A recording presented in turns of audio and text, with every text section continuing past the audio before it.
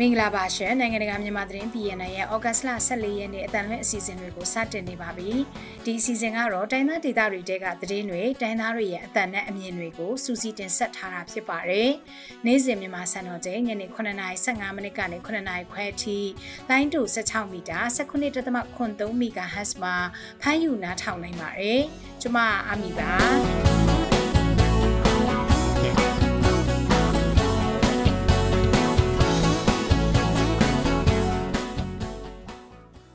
သတင်းတွေထဲမှာတော့စစ်ကောင်စီတပ်ရဲ့ရိတ်ခါတူလောင်တဲ့ဂိုဒေါင်တစ်ခုကို Greeny တပ်မတော် KA ကမနေ့ကဝင်ရောက်တိုက်ခိုက်ခဲ့ပါတယ်။ချင်းပြည်နယ်ထန်တလန်မြို့နယ်အတွင်းမှာစစ်ကောင်စီကဒီမနက်မှာပဲလေရင်နဲ့ဘုံကျဲတိုက်ခိုက်ခဲ့ရဖះเจ้าတစ်เจ้าအပါအဝင်အ ਨੇ ဆုံးလူနေအိမ်လေးလုံးထိခိုက်ပျက်စီးသွားခဲ့ပါတယ်။ သတင်းတော်တွေထဲမှာတော့ကချင်ပြည်နယ်ဖက်ကတ်မှာ KIA တပ်ဖွဲ့တွေကစစ်ကောင်စီရဲ့တပ်စခန်းတစ်ခုကိုသိမ်းပိုက်လိုက်ပြီးတဲ့နောက်လမ်းပိတ်ထားတာကြောင့်ကုန်စည်နှုန်းကြီးမြင့်မှုတွေပစ္စည်းပြက်လက်မှုတွေနဲ့ကြုံနေရပါတယ်မြန်မာငွေဈေးဆက်ပြီးတော့ကျဆင်းလာတာကြောင့်ဘလို့သက်ရောက်မှုတွေရှိလာနေတယ်လဲဆိုတာနဲ့အရေးပေါ်ကာလတိုးမြင့်မှုနောက်ပိုင်းမှာစစ်ဗိုလ်ချုပ်တွေကိုအရေးပါတဲ့နေရာတွေမှာတာဝန်ပေးအပ်တာဟာဘာကြောင့်လဲဆိုတာတွေကိုတင်ဆက်ထားပါတယ်အခုတော့သတင်းတွေကိုကျွန်မနဲ့အတူဆိုင်းမင်းကနေတင်ဆက်သွားမှာပါ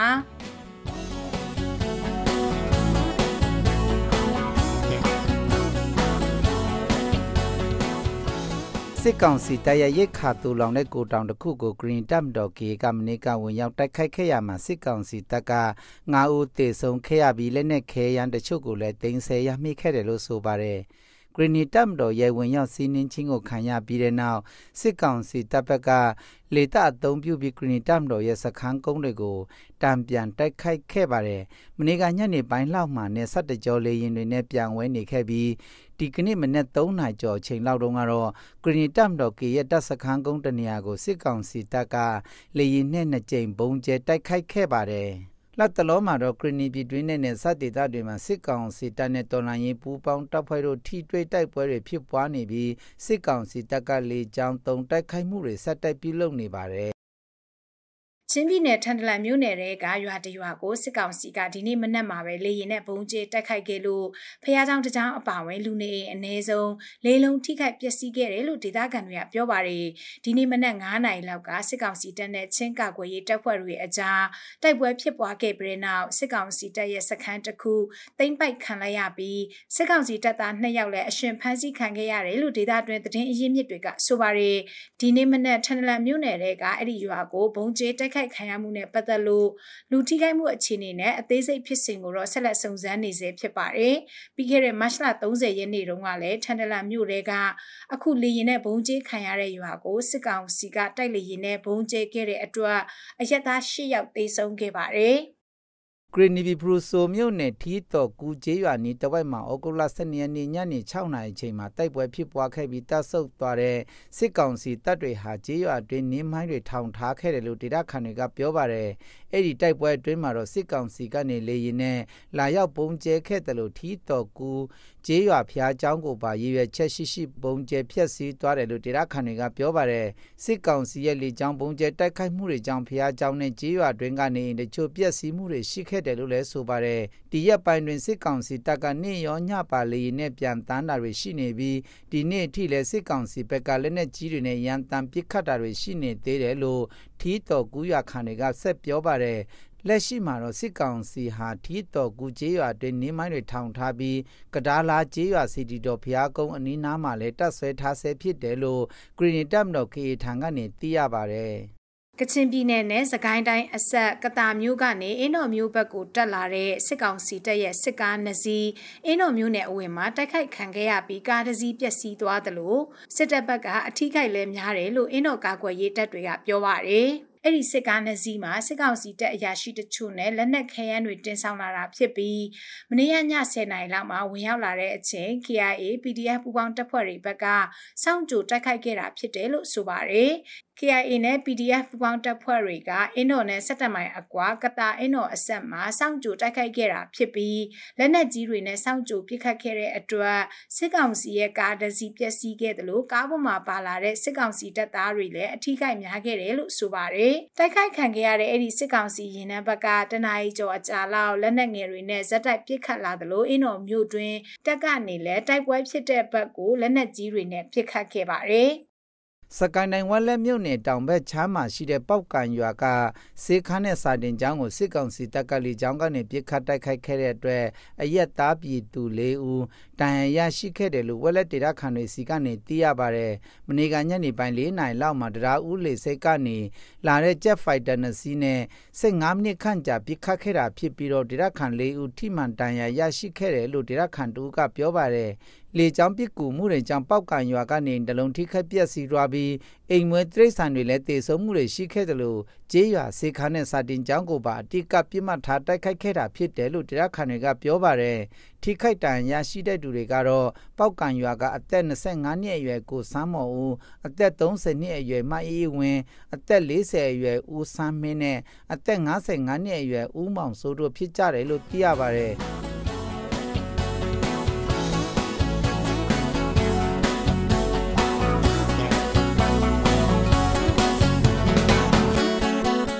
နားဆင်ခဲ့ရတာကတော့ BNI Radio ရဲ့နေ့စဉ်သတင်းအစီအစဉ်ပဲဖြစ်ပါတယ်။ဒီအစီအစဉ်ကိုတော့နေ့စဉ်မြန်မာစံတော်ချိန်ည9:15မိနစ်ကနေ9:00ခွဲအထိ15မိနစ်ကြာထုတ်လွှင့်သွားမှာဖြစ်ပါတယ်။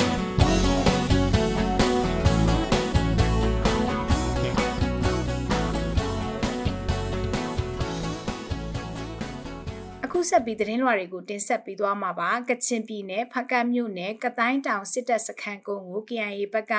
တိုက်ခိုက်သိမ်းပိုက်လိုက်ပြီးတဲ့နောက်စစ်ကောင်စီတပ်ကတာမခန်ရွာအဝင်အထွက်ကိုပိတ်ထားလိုက်တာကြောင့်အခြေခံစားသောက်ကုန်တွေပြက်လက်လာနေတဲ့အပြင်ကုန်စည်နှုန်းတွေလည်းအဆမတန်မြင့်တက်လာတယ်လို့ဒေသခံတွေကပြောပါတယ်ဘလောက်ထိကုန်စည်နှုန်းတွေတက်လာနေတယ်ဆိုတာကိုတော့ကချင်သတင်းဌာနကအမိုးအတင်ဆက်ထားပါတယ်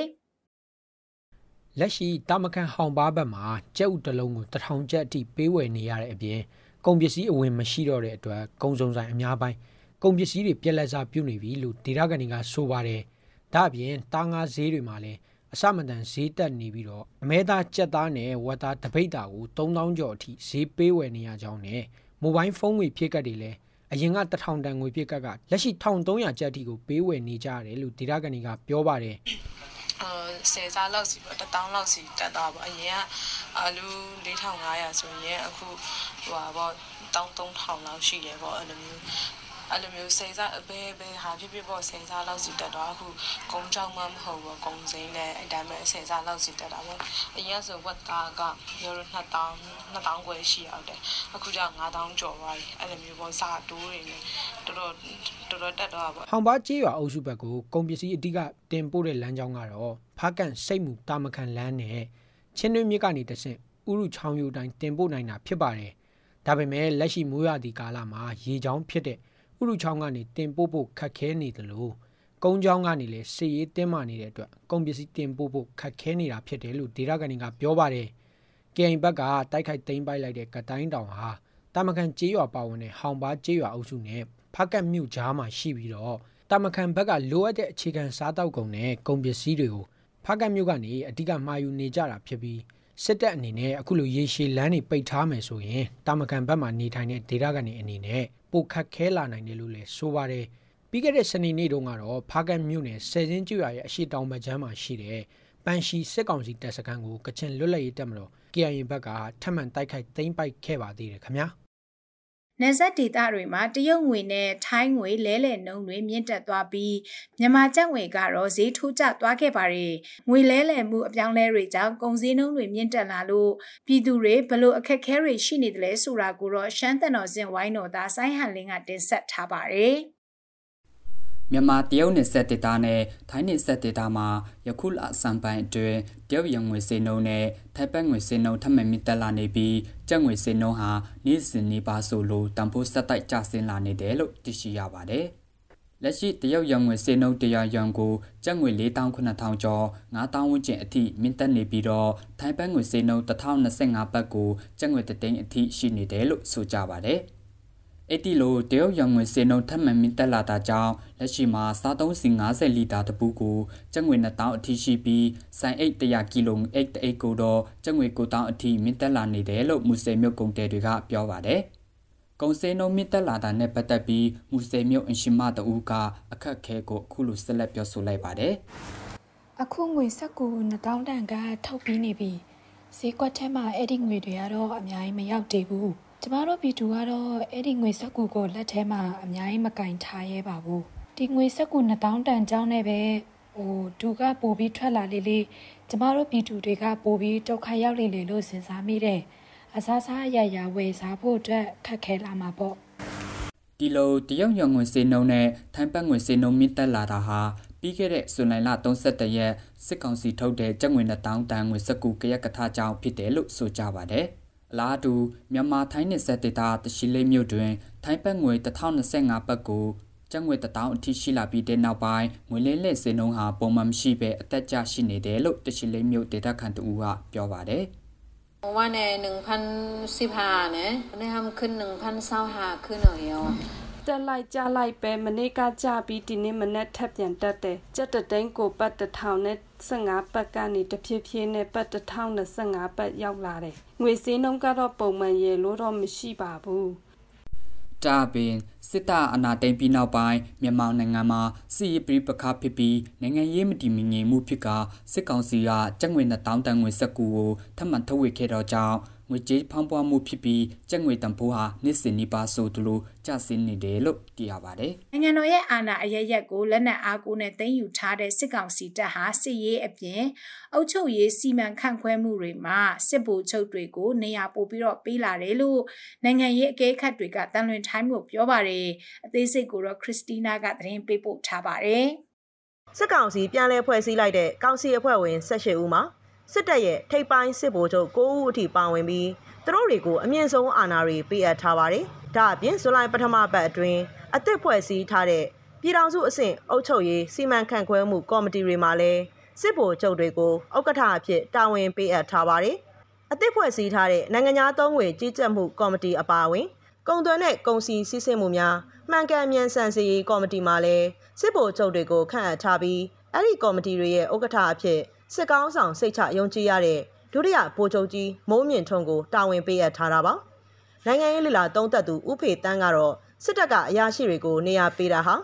စစ်ရေးတွေမကဘဲနဲ့တခြားစီမံခန့်ခွဲရေးတွေမှာနေရာဝင်ယူတဲ့သဘောဖြစ်သလိုစစ်အုပ်ချုပ်ရေးကိုပြည်ပြည်ပြင်းပြင်းလှုပ်ဆောင်လာတဲ့သဘောဖြစ်တယ်လို့ထောက်ပြပါတယ်။ဒါကတော့သူအနေနဲ့ပေါ့နော်ဒါစီးရေးတွေမကဘူးတခြားစီမံခန့်ခွဲလုပ်ငန်းတွေမှာလည်းဝင်ပြီးတော့နေရာယူတဲ့သဘောပေါ့။ ဒီကဆိုရင်တော့စစ်အုပ်ချုပ်ရေးကိုပိုပြီးတော့ပီပီပြင်ပြင်လုပ်လာတဲ့သဘောပေါ့နော်။တခြားအရပ်သားတွေထက်သူတို့လူတွေပဲသူတို့လုပ်နိုင်လိမ့်မယ်။သူတို့လူတွေပဲသူတို့စိတ်ချရတယ်။ဒါကသူတို့အသင်းစည်းလုံခြုံမှုအတွက်နေရာပေးမှုသူတို့အချင်းချင်းတဘက်နဲ့တဘက်အမြင်မကြည်မဖြစ်အောင်ပေါ့နော်နေရာတွေကိုဖြန့်ဝေတော့ပေးတာပေါ့။အဲဒီအထဲမှာစစ်တပ်တခုထဲမှာဆိုရင်ဘောင်ကကျဉ်းတာပေါ့။ဒါကြောင့်အခြား စီမံခန့်ခွဲရေးလုပ်ငန်းတွေ တခြားဝန်ကြီးဌာနတွေ အဲလိုပေါ့ သူတို့အကုန်လုံးကို လက်တံရှည်ရှည်နဲ့ ကိုင်နိုင်အောင်နဲ့ တပ်တင်းညီညွတ်မှု တယောက်တယောက်ကြောင်ထိုးတယ်လို့ မခံစားရအောင်ပေါ့နေရာတွေ ဖြန့်ဝေပေးတဲ့သဘော သူတို့အချင်းချင်း နှစ်သိမ့်တဲ့သဘော အဲလို ကျနော်တော့ မြင်တယ်ဗျ။စစ်ကောင်စီအနေနဲ့ ဖွဲ့စည်းပုံအခြေခံဥပဒေအရ စစ်တပ်လုပ်ပိုင်ခွင့်မရှိတဲ့ ဌာနဆိုင်ရာအပါအဝင် တရားစီရင်ရေးအပိုင်းတွေမှာပါ ဝင်ပါလာတာဟာ အရက်သားဝန်ထမ်းတွေကိုထိမ့်သိမ့်မှုရည်ရွယ်သလိုနောက်ဆက်တွဲစိုးကျိုးအနေနဲ့စစ်တပ်နဲ့အရက်သားဝန်ထမ်းတွေအကြားဆက်ဆံရေးဆိုးဝါးလာနိုင်တယ်လို့ဥဖေတန်းကဆိုပါတယ်။တစ်ဖက်မှာတော့စစ်ကောင်စီဟာစစ်တပ်ကဗိုလ်ကြီးဗိုလ်မှူးတွေနဲ့အရာရှိတွေကိုအရက်ဖက်ဌာနဆိုင်ရာတွေမှာအမြင့်ဆုံးတာဝန်တွေပေးအပ်ပြီးစစ်အုပ်ချုပ်ရေးစနစ်ကိုအခိုင်အမာအကောင့်ထဲပေါ်လာတယ်လို့နိုင်ငံရေးအကဲခတ်တွေကသုံးသပ်ပါတယ်။မြန်မာနိုင်ငံမှာတော့စစ်တပ်အာဏာသိမ်းမှုကြောင့် ပြည်သူလက်နက်ကိုင်တပ်ဖွဲ့ပေါင်း9000ကျော်ပေါ်ပေါက်လာပြီးစစ်အုပ်ချုပ်ရေးနဲ့စစ်အာဏာရှင်စနစ်ကြာဆုံးရေးအတွက်တိုင်းရင်းသားလက်နက်ကိုင်အဖွဲ့အစည်းတွေနဲ့ပူးပေါင်းကစစ်ကောင်စီတပ်ကိုတော်လှန်တိုက်ထုံနေတာဖြစ်ပါတယ်။